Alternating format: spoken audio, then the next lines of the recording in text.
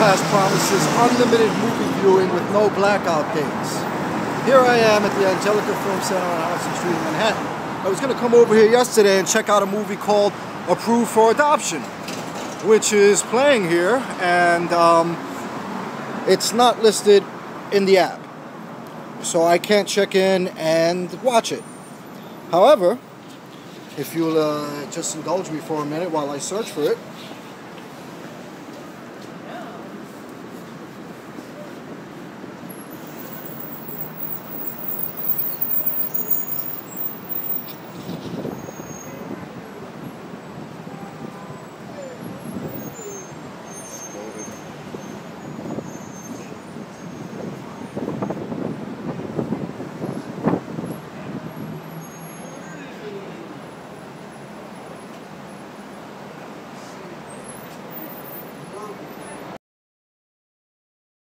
Sorry about that, it took a couple of minutes to come up.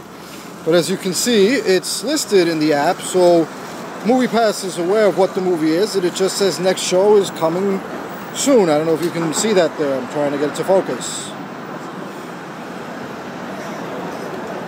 And it just doesn't come up as available to check in, but it's playing here now at the Angelika Film Center, and it's up on the board, so um, you know, if that's not a blackout date, then I don't know what is.